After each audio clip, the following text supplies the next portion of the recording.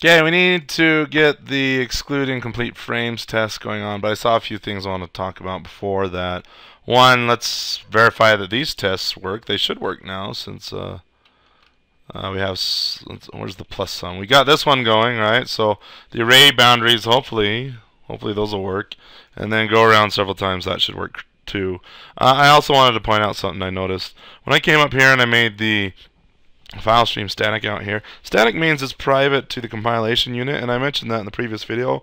But also something to think about is since I have defined this OF stream out here in the compilation unit, it is also static as far as static goes with with classes, right? It's every profiler instance will share this one outstream. So that could become an issue with threading for sure. It's not thread safe. And maybe you instantiate a profiler, I instantiate a profiler, and we're using separate profilers, and all of a sudden they're kind of writing all over each other if we tell them to do the same thing at the same time. So something to consider. But also, I'm not too stressed about it because very soon we are going to turn our profiler class into a singleton using the singleton design pattern because uh, just like with uh, many debug facilities we'll add to our project I only want there to be one instance of the object, a global instance that you can use anywhere in the game. It's simply a debugging tool. But in the meantime, let's make sure these tests run. I'm hoping, again, let me just build this, run this, and you can see that only excluding incomplete frames is failing. Uh, yes to that. Let me Bring this in, Control KU, KU, KU, KU. Control F5, cross my fingers. Say a prayer if you're religious. Um, yep, okay, so these tests, yes, these tests were successful as well. In fact, I can array boundaries, Control F5 again. We can find array boundaries in the group of profile tests. Uh, where's array boundaries right here? Took 4 milliseconds, so on and so forth. Uh, let's go around several times, okay? 3.141592 blah blah blah blah blah times. This is not pi, but it is very close to pi. Um, I digress somewhere out here. What? Wait a minute. What was it? What's this? What's, oh, yeah. This is a double. This is an int. When you multiply an int to a double, returns a double, and that needs to be converted to an unsigned int. So let's do that with a static cast const unsigned int num frames this test gets static cast you are so ugly unsigned int and I hope you remember the right reasons using a static cast uh, I could use other cast syntax something like this or I could use a function style cast which looks a lot like this but I'm using static cast to say hey this is a compile time conversion compiler please convert it, go, and do. And then I'll pass that in right here. Control Shift B, build started, build succeeded, Control F5, verify that we still only have one test failed, and it's the test that we have not worked on yet. Now I want to, I, I if we look at profiles.csv, yeah, that's interesting, but let's let's really kind of push this thing and I, I'm going to guess we'll start out with roughly a thousand frames. We can tweak that all we want now that we have the unit tests in place. Uh, control F5, build, run, and everything passes. That's weird. Yes. Look at that. Yeah, bigger numbers now. Big money, big money. That's weird. I wasn't expecting that. I was expecting the exclude exclude incomplete frames to it fails if I'm at 5 oh Nelly but it doesn't fail when I'm at a thousand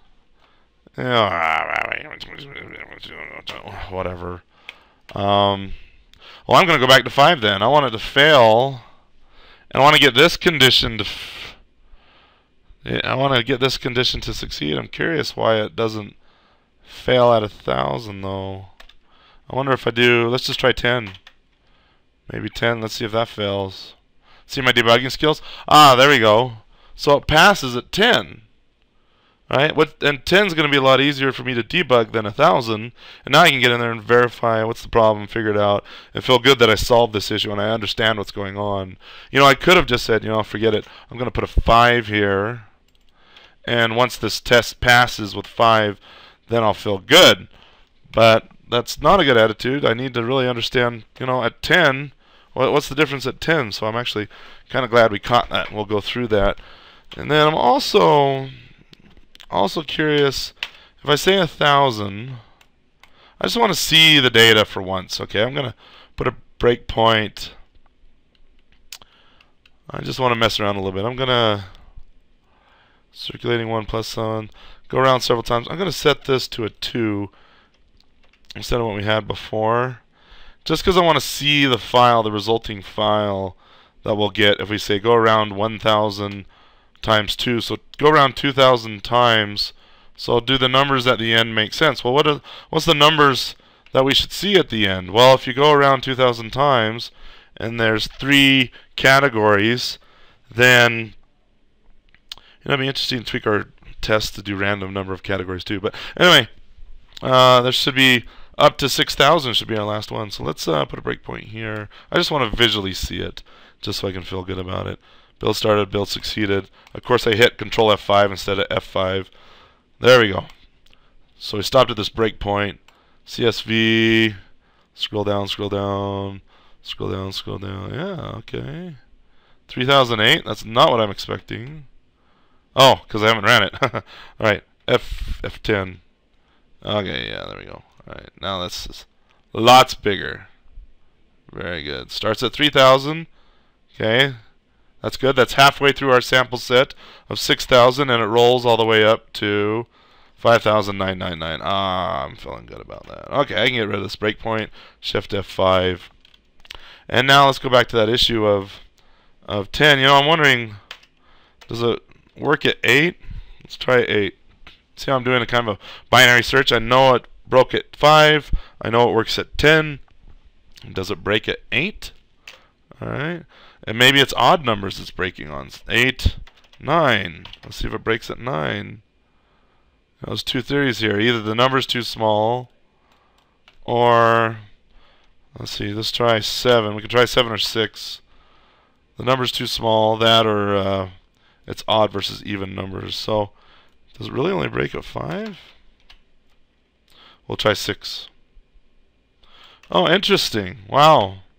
So I'm glad I actually took that time because debugging six frames will be a lot easier than debugging five or ten frames, and uh, it'll be a lot easier than debugging a thousand frames. So that's interesting. Let's put it at six, and uh, in the next video, in the next video we'll look at uh, figuring out why this is behaving the way it is behaving.